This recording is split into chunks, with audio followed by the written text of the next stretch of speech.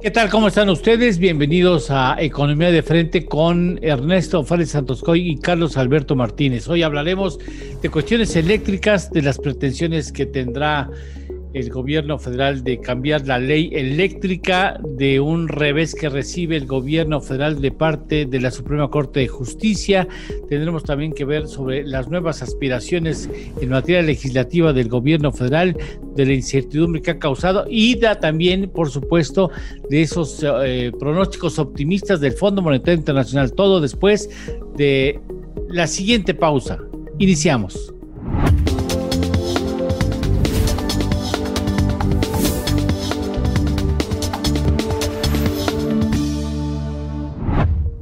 Bien, muchas gracias. Como siempre, Carlos Alberto Martínez, ¿cómo estás? ¿Qué tal? Muy bien, muchas gracias, Eduardo, Ernesto. ¿Qué tal? Gracias. Ernesto Fález Santos, ¿cómo están ustedes? Eduardo, Carlos Alberto, ¿qué tal todos?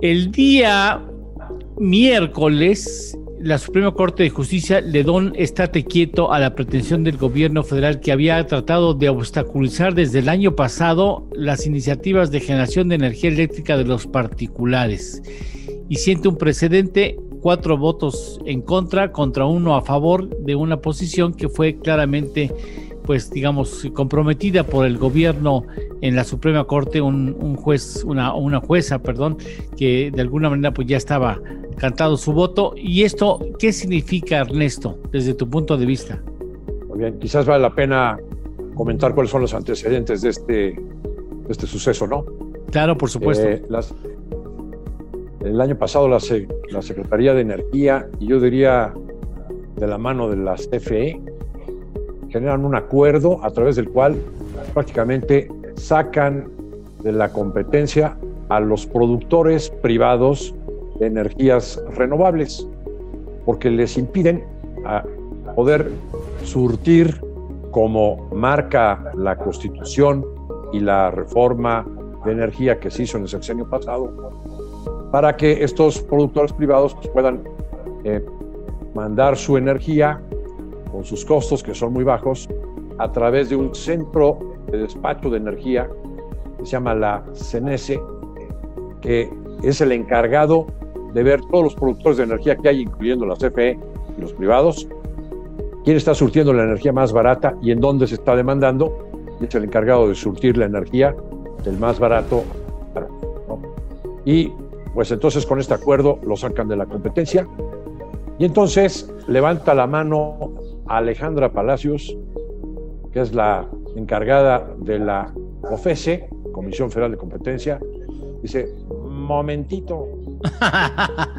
momentito. Córtale, mi chavo. ¡Corte!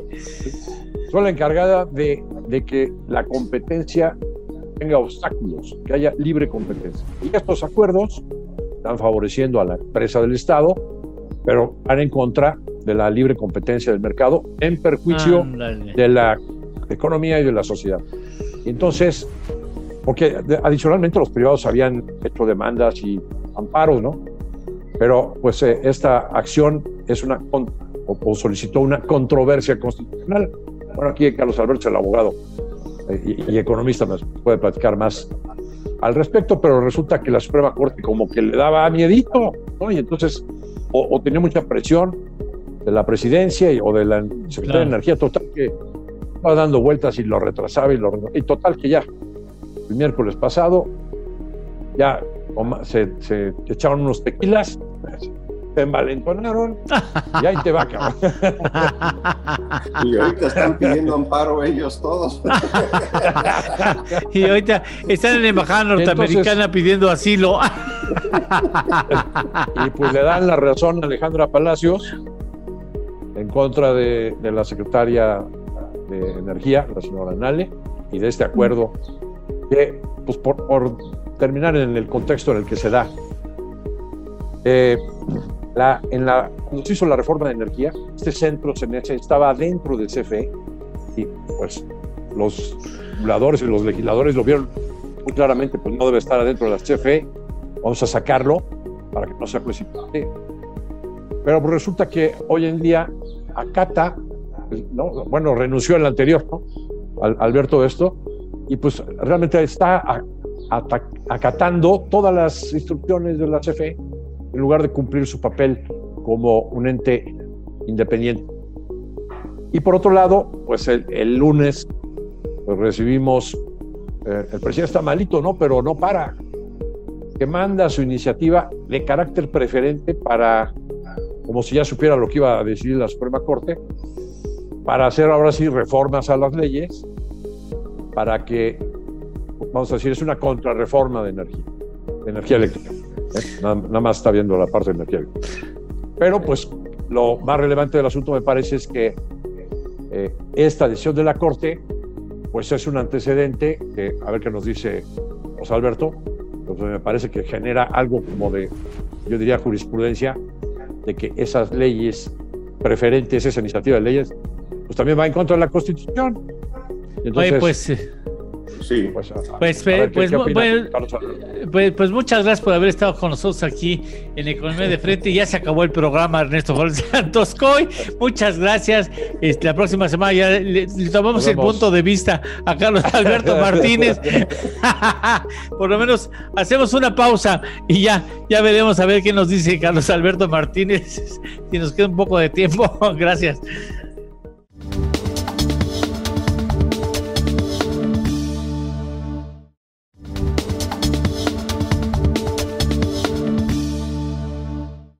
Bueno, eh, largo pero muy completo. Correcto. Muy, completo. Entonces, y muy prudente. Por eso, por eso se llaman privados. Privados. Porque están privados de sus derechos. ¿Algún otro, ah, algún otro anexo que quieras hacer al tema?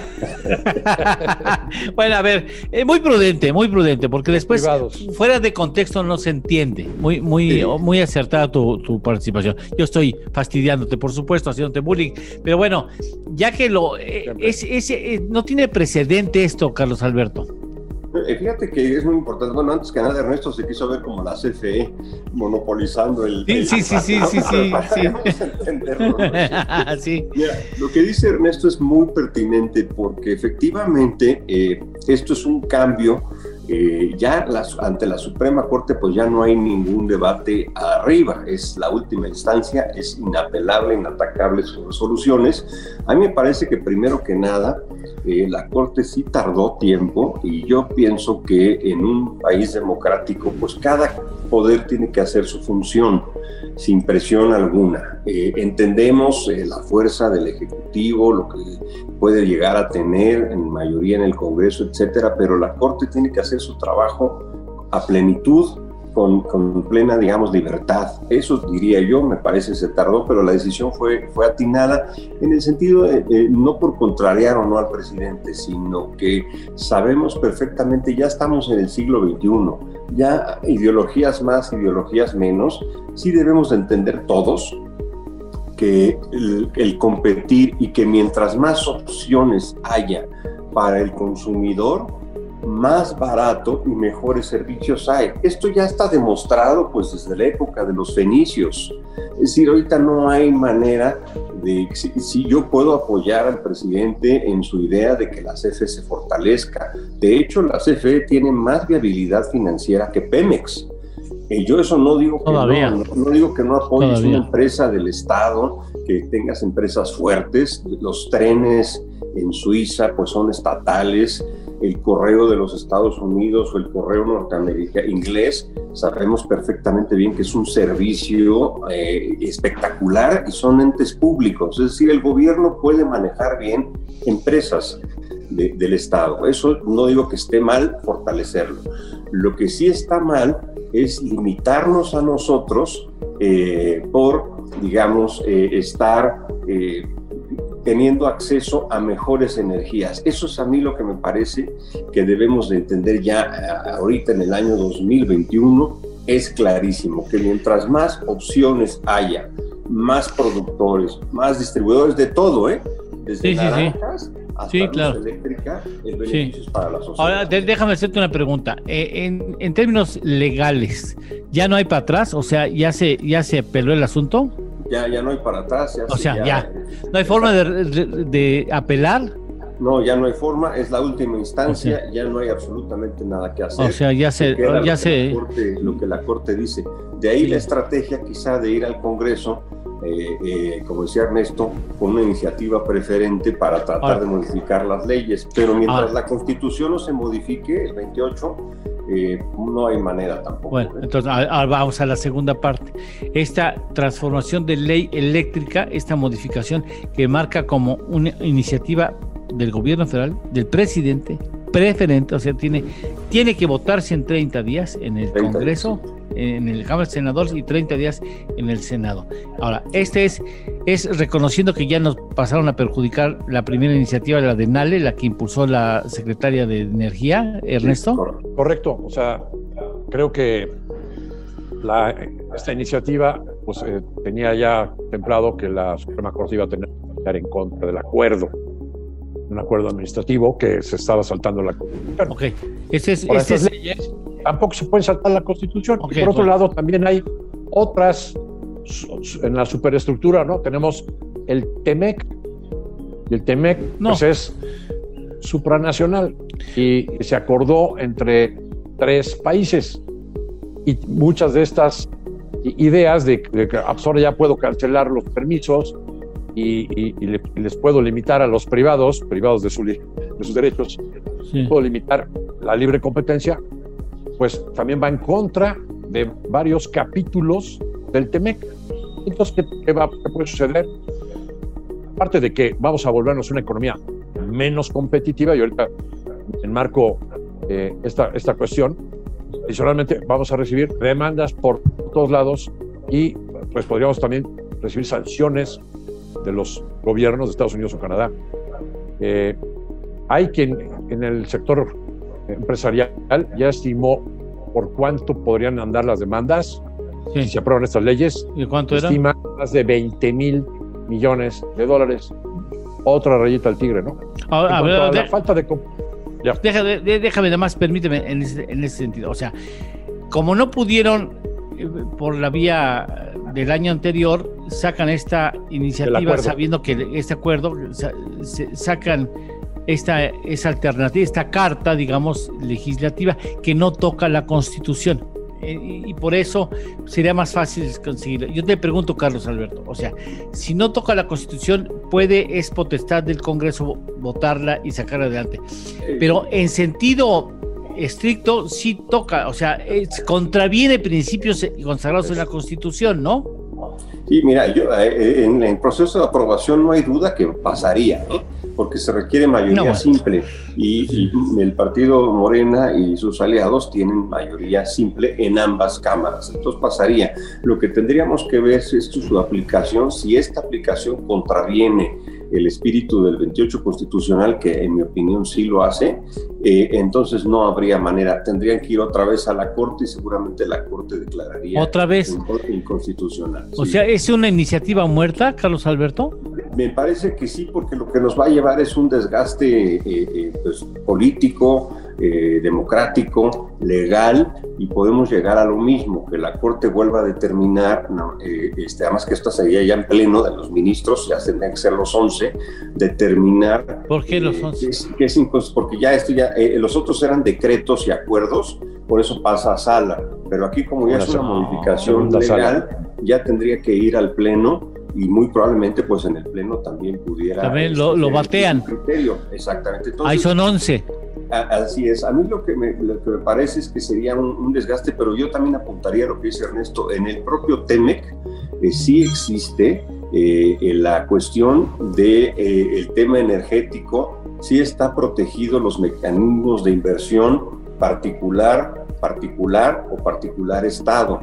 Entonces sí hay mecanismos que hay que apuntar, hay que tener ojo ahí, porque sí pueden haber las demandas. El espacio está abierto eh, se, había dicho que en el TEMEX se dejó espacio para la soberanía mexicana en materia energética. Esa es una frase que está ahí en el, en el TEMEC, pero no, cuando ya revisas este tamaño que es el TEMEX, sí sabes perfectamente bien que, que las inversiones de particulares en territorio mexicano como las inversiones de mexicanos en Estados Unidos y Canadá están absolutamente protegidas por el TEMEC y hay mecanismos de solución de estas controversias. déjame ir. De, y demandas. Permítanme una pausa para no cortar la respuesta de nadie. Vamos a una pausa y regresamos con Ernesto Fábel Santos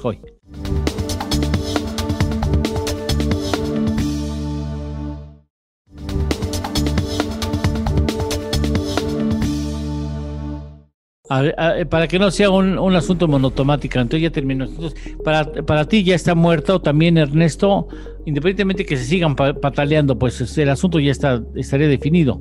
Sí, está, está muerto a nivel eh, legal. potencialmente legal, pero me parece que al final de cuentas es como cuando este, tu mamá te presentaba a la hija de su amiga y, pues no, no, no te latía y pues te mandaban a ir a tomar este el cafecito.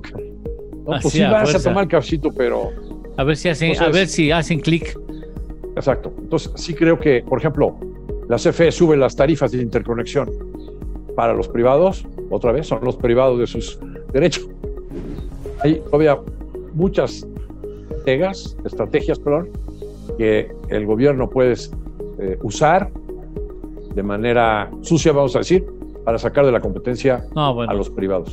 Mal, mal, mal antecedente, porque nos va a salir carísimo, el, porque no solamente es el TEMEC, también es el Acuerdo Transpacífico y también es Europa, o sea, y, independientemente de lo que sea, la sola intención ya deja el muy mal parado al gobierno mexicano frente al concierto internacional. Ahora, déjame ver otra cosa, porque hay otra iniciativa que también trae su cola, que es la del Banco de México. ¿Tú crees que, Carlos Alberto, está muerta la iniciativa de tocar la ley del Banco de México? Sí, está totalmente muerta. Ya la clase política no sabe cómo este, enderezar y, determinar el, oso público que hicieron mundial, eh, porque se recordarán, se aprobó en el Senado de la República prácticamente el mismo día que se metió, pero poco antes de irnos de vacaciones el 15 de diciembre, fue así como que muy eh, eh, violento, se descubrió todo, se, determinó, se analizó, está muerto para mí ese Está muerto, está muerto. saber cómo los políticos se salen de ahí de la... no, se, no se hubieran metido. Si van a tener que salir corriendo, mejor no te metes. Antes de, de, mandar una iniciativa así, llamas a tu gabinete y tus consejeros y tus asesores y dices, a ver, tengo ganas de hacer esto, ¿qué repercusiones habría? ¿Qué posibilidades existe de que me salga bien librado? O ni me meto, pues, o sea, ni me meto para no ser ridículo. hay que destacar que esta iniciativa la presentó el senador este, Monreal, líder de la mayoría. ni siquiera la consultó con Hacienda. ¿Tú crees que no? Pues aparentemente no. Yo, yo creo que Monreal no es tan güey. O sea, yo que le dijeron, ándale. la atención? Esto ya, ah, sácalo. Sí, sácalo, órale. Sí, es que. Sácalo, ¡uh! ¡Órale, órale! Es que realmente sí, la, el impacto que se dio mundial es espectacular. No, bueno, pone los ojos innecesariamente en nuestro país en malos términos. Ahora, el FMI, para que vayan que cumplimos con toda la expectativa, el FMI afirma que vamos a crecer cuatro puntos y tantos por ciento. Está más optimista que nosotros. ¿Qué, ¿Tú crees que tienen razón, Ernesto? Pues quién sabe qué están viendo que no estamos viendo los demás, porque lo que nosotros estamos viendo, simplemente pongo la cifra de diciembre, aunque todavía no está la cifra definitiva, pero en diciembre la caída de la economía fue del 5.4%, es lo que dice preliminarmente el INEGI, cuando la caída de noviembre ya nada más era 3%, veníamos cada vez teniendo menores caídas. Entonces, ¿por qué se, dispara otra vez la... Por el confinamiento de fin de año. Porque a, a mediados del año pusieron de nueva cuenta como eso perdura en enero y febrero, no sabemos si hasta marzo, que pues los siguen desbocados y la, saturación de los hospitales es crítica, pues entonces vamos a tener comparativos contra enero y febrero y marzo del año pasado muy, bajos. desfavorables.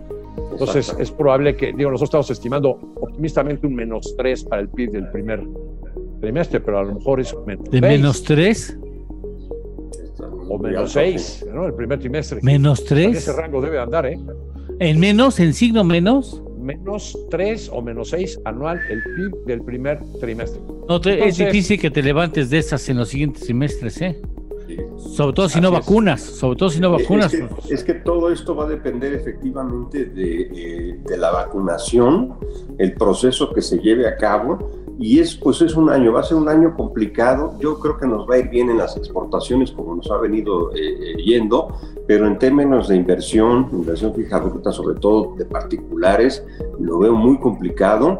Y esto también, yo te diría, hay otro este, aspecto, es inversión de particulares y la recuperación de empleo. Si esas dos cosas no se dan, yo también veo muy optimista el pronóstico del fondo. Bueno, pues ahí está. Este, quién sabe, como bien dice Ernesto, quién sabe qué estarán viendo que nosotros no, vemos, ¿no? Hay un segundo paquete de apoyo fiscal en Estados allá, Unidos. Allá. Que, nos salpica. Nos todavía salpica. No todavía no está del todo aprobado, ¿no? A través de, de acuerdos ha estado, este, el presidente Biden ha estado mandando dinero a las familias, ¿no? Pero todavía no está del todo aprobado. Pero eso es lo que están viendo, que Estados Unidos puede tener una recuperación muy importante en la segunda mitad del año.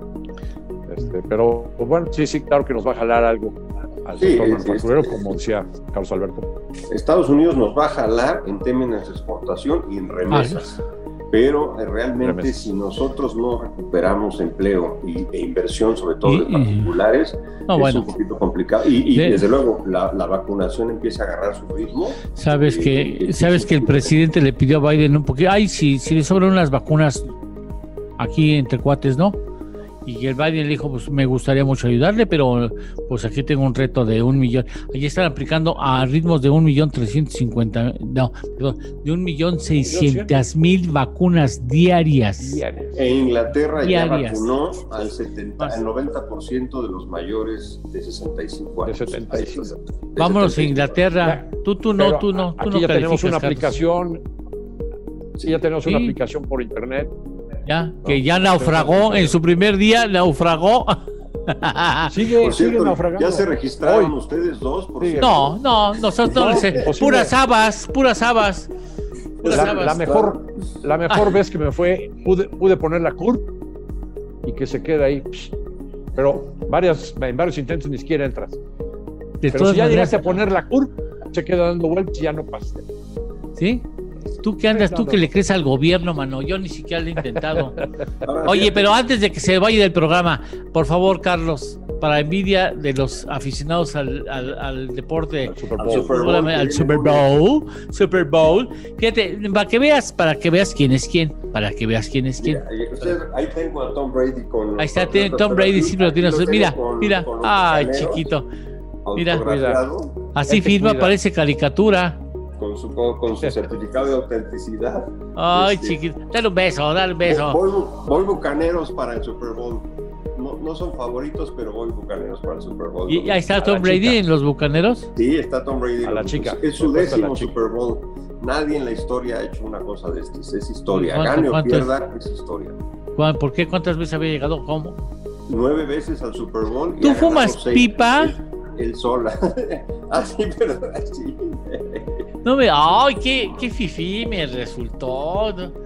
Mira, mira, ¡ay, qué elegante! me, voy a hacer inglés para que me vacunen más rápido allá. Tú no lo necesitas, está muy joven. Ni Ernesto ni yo tampoco, puras habas. Sí. No, pero si la vacuna rusa sí, a mí sí me va a poner todo grandote, todo fortachón. Eso es lo que tú crees. Es que tienen fama de ponerle esteroides y todo a los deportistas de las Olimpiadas. Sí, sí, sí. que les vale, les vale sorbete los controles olímpicos, ¿no? Les vale. No, se, se lo pasa por el arco del triunfo, para eso se hizo, para eso se hizo. Bueno, señores, ya tenemos que irnos. Muchas gracias, Carlos Alberto. Muchas felicidades. Mañana lo queremos ver ahí, este, a Tom Brady ahí. Correcto. Muchas gracias, Ernesto Fález Santos Goy. Gracias a ustedes. Muchas gracias. Gracias a usted, sobre todo, que disfrute usted este programa, que disfruta y por eso nos sigue. Gracias. Gracias. Hasta la próxima semana.